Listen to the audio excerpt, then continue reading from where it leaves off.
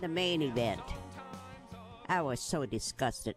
Why does a guy like that, that's been a champ for so long, have to have three guys come in and help him? Disgusting, isn't it? Yes, it is so disgusting. Granny asked, "Tell us your favorite and least favorite match at WrestleMania." There was a lot of great matches. Yes, there was the first day. The second day was back to this same old crap.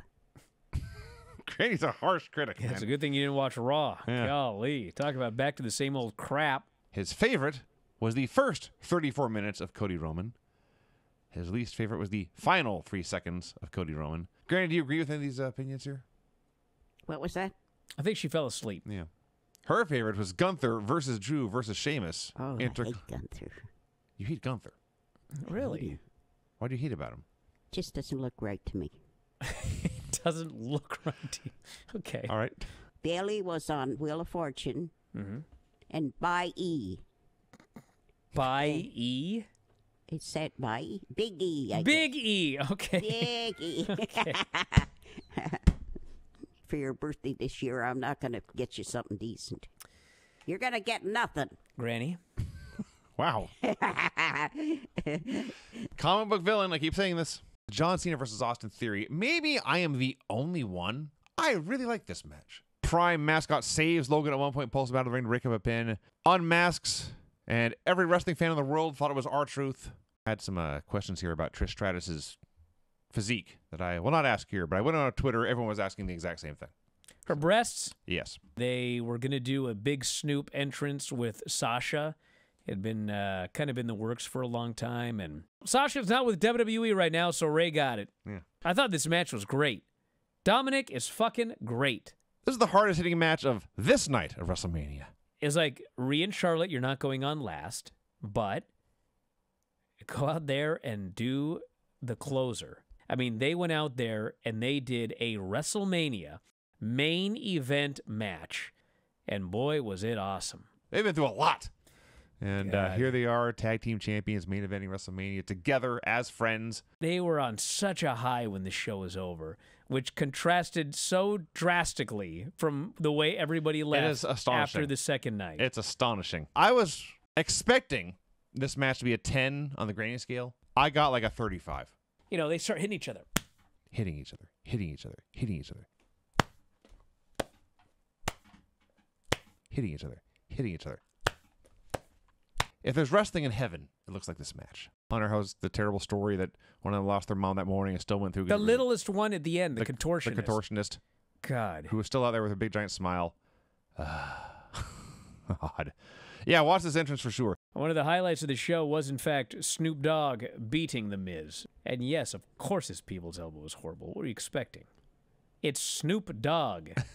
so he's sitting there in all this pain, first from being split open, then from being put back together, and he's feeling every fucking staple go into his fucking skull. Yeah. And then he had to go back in and keep wrestling. Yeah. So, anyway, that guy deserves an MVP of the weekend award. If I had a wrestling school, I wanted to show one match from the weekend to my students to learn how to wrestle. It's this Cody Roman battle here. Solo, who was ejected, just comes on back, hits a spike, Roman hits a spear, and wins. The fuck? I cannot say that the crowd died because they didn't. It was one of the loudest reactions, but not like a pop. It was like 65,000 people went, ah! Like, what? It was the weirdest fucking noise I ever heard. And man, poor Cody, just a beaten man. It was so depressing. Yeah. It was so fucking depressing. That's when I knew, fuck, he's back. He was back the next day. I heard it was all downhill from that after that point. Historically, there were always debuts on the Raw after WrestleMania. The very first thing they do on the Dynamite after WrestleMania hmm. is they debut a brand new guy. We got our big WrestleMania weekend debut on Dynamite and nothing on Raw. I thought he was going to WWE, but he chose AEW, and I wonder how much of that had to do with Vince coming back. It is time for the MJF Day celebration. We begin with jazz. I don't mean the former Women's Champion. I mean the actual music form jazz. MJF talking about how great Long Island is, and he mentions when it rains here, it rains pennies from heaven. And then he sang the song. And I mean the entire song. watching him sing this song. There's a live band. He's dancing and he's singing. and the place is just losing their shit for this guy. And granted, it's Long Island, so he's supposed to be a baby face. But uh, not to harp on this point for the 85th time, but I, I fucking watched this thing and I was like, you could have gone babyface with this guy. like, it was right there. They wanted it. Like, look at this fucker. We're doing the first ever AEW All In, August 27th from London, England. Adam Cole is there to say, yes, we are doing London Wembley Stadium in their London debut. All I can say is that, that if they do not do Stadium Stampede in Wembley, total waste. But FTR counters it with double sunset flips. Yeah. And the referee counts one, and the referee counts two, and the referee counts three. And FTR are once again your World Tag Team Champions. And FTR is not leaving AEW. No, it turns out they're going to stay put. Indi Hartwell comes out for a promo. The fans are rabidly chanting, You deserve it. And I have no comment. Any skit where masked wrestlers are wearing their masks out in public, In their street clothes. Automatic thumbs up. Nathan Frazer just decided, I'm going to be the best wrestler on the planet tonight. God damn, he was so great in this match. And he runs off.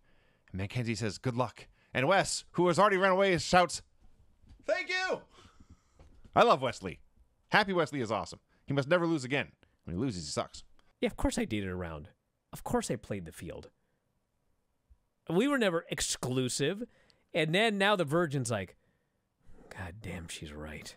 Now he's blaming himself. You can see every single person's what they're thinking and their motivation. It's logical for every single person involved in this thing right here. I love this storyline. Three names about to debut. Can I say them? Oba Femi, mm-hmm. Tank Ledger, Yes. and Danny Palmer. Yes. Okay, Bron Breakker either needs to be called up or he needs to be turned heel. Because at the end of the day, it's developmental. If you want Bron to be a main roster star, then he should have a babyface run in developmental. He should have a heel run. He should have a championship run so that he can work on all of these different things and then he can go to the main roster and be ready. So it looks like he's staying to be heel.